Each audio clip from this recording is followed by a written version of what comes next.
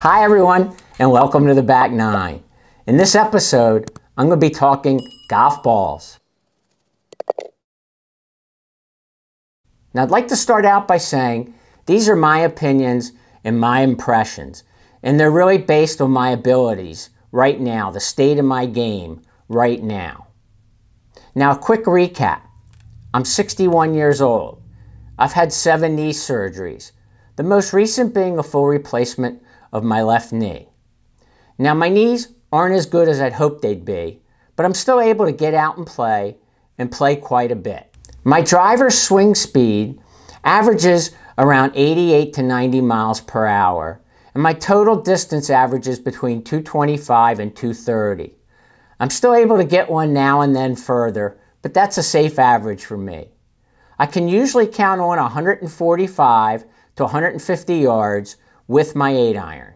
Now, to test all these balls, I just didn't go into a hitting bay and hit a bunch of balls on GC Quad. What I actually did was I went and bought a sleeve of every ball we're going to talk about.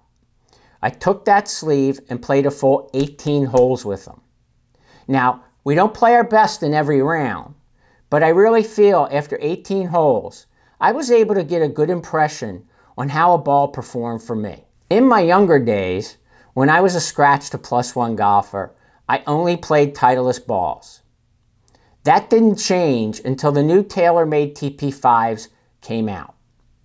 They felt softer and actually performed better for me, and I played with those for two seasons. But since then, I've really been struggling with my knees, so I've lost some swing speed and flexibility. Last year, I played the Bridgestone E12 Soft.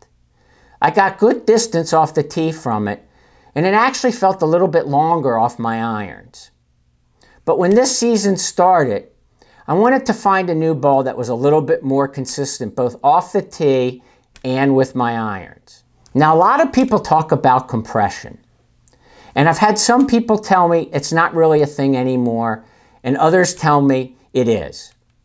I actually had two different people, one a pro and one who owns a pro shop, test the compression of a golf ball for me. They had a little gizmo and they both tested the same ball.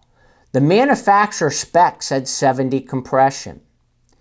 Both times I saw them test it, they were never 70 compression. They were always either above or below, but never consistently on the number that the manufacturer said. So I can't really give you a definite answer on compression. Now, another factor is the cover. Normally, golf balls with a urethane cover feel softer. But these days, it also has a lot to do with the composite of the core of the ball.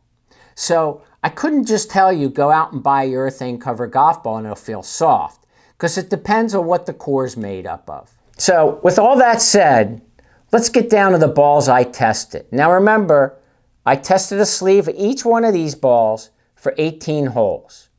I'm going to start with Titleist. The first ball I hit was the Titleist Pro V1, which retails for $52. Now the prices I'm giving you are off the manufacturer's website. And for some of these golf balls, I know you can find them cheaper at other places. Now back to the Pro V1. I really had a hard time with trajectory on these golf balls. I didn't get any height out of them.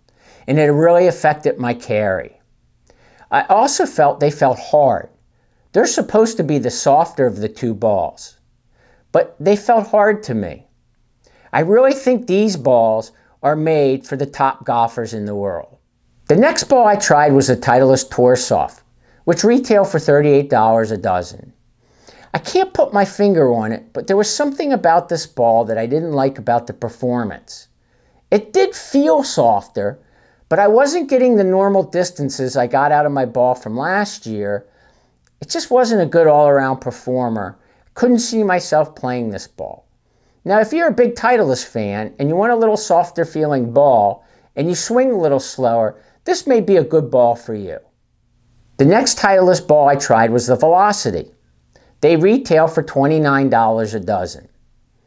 They didn't feel good to me, and they're supposed to be a distance ball, I wasn't seeing it.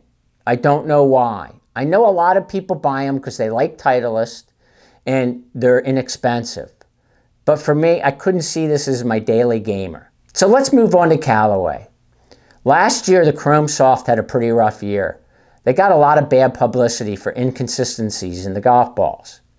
So Callaway retooled their manufacturing process and came out with a new 2020 Chrome Soft, which is actually what I played with yesterday, the last day of this testing. I really liked the first Chrome Soft. It was soft. I don't know about compression, but it felt like a lower compression ball, and I really liked it. The 2020 Chrome Soft felt to me like a better player's golf ball as well. That's not a bad thing, it just wasn't for me. I didn't get good distance out of it off my driver or my irons, and I didn't get good height out of it. And I normally hit a high ball. So I couldn't see myself playing the Chrome Softs this year. The next Callaway ball I tried was the Super Soft. They retail for $22.99. They're a really popular golf ball. I know a lot of people that play with them. They do feel soft, and they do perform pretty good. I got average distance out of them off the tee and with my irons, and pretty good control as well. This ball could be a contender, but there are a few others that I hit better. Let's move on to Srixon. I tried two Srixon balls. The first one was the Srixon Q-Star Tour, which retails for $32.99. For me, this was a really good all-around golf ball. I got consistent distance off the tee and my irons with it, and accuracy was not a problem.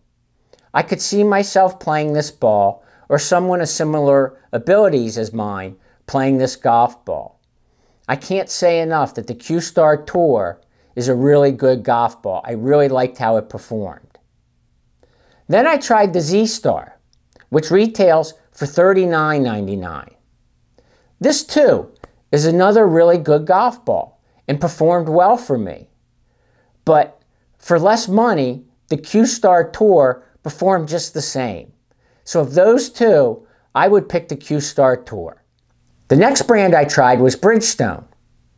I tried the RX and the RXS.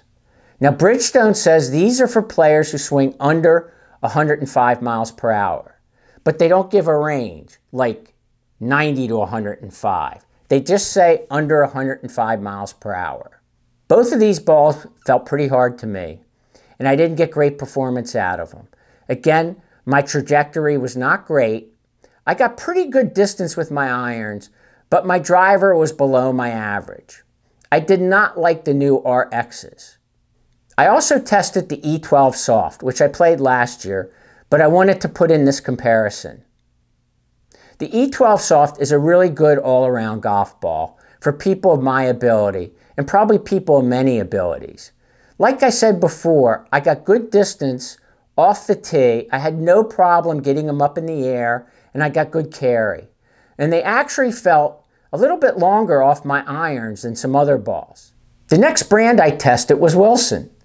Now I have to admit, I haven't tried a Wilson golf ball in quite a long time. The first one I tried was called the Duo Soft Plus, and that retails for $21.99. I think for average golfers at $21.99, this is a good ball unless you swing over, say, 95 miles per hour. It's not for a hard swinging golfer. But for the average golfer, this is a pretty good ball, especially for the price. I gave it a B plus for performance. Driver distance was a little off, and so was my iron, but it was pretty consistent all around and felt pretty darn good. The next Wilson golf ball I tried was the Duo Professional. They retail for $36.99. Now, I'm not quite sure who the market is for this ball because it's called a professional, but it's also called a duo. And the original duos were supposed to be really low compression golf balls for slow swingers. My experience with the Duo Professional wasn't great. I did not get good distance off the tee, nor did I get good distance with my irons. And I really struggled with trajectory. I can't tell you why. I just didn't get along with it. I have to be honest. For quite a lot less, the Duo Soft Plus performed better. Maybe it was the compression, if compression's a real thing. I don't know what, but for my game and my swing, the Duo Soft Plus performed better for me than the Duo Professional. And again, it's a lot cheaper. The next brand I tried was TaylorMade. So naturally, I wanted to try the new TP5. Now, I liked it years ago, but I just don't think I have the game for this ball anymore. It didn't perform well for me. It performed similar to the Pro V1. And I really think this ball is geared toward the better players. The next ball from TaylorMade I tried is a new one from them called the Tour Response. And it retails for $34.99. For me, this was a really good all-around performer. I got good trajectory, really good carry, consistent distances, and it feels really good. I think a large group of golfers would like this ball, from better golfers than me to golfers a little bit above my handicap. I really like this golf ball, and I really think it meets a wide range of needs for many golfers.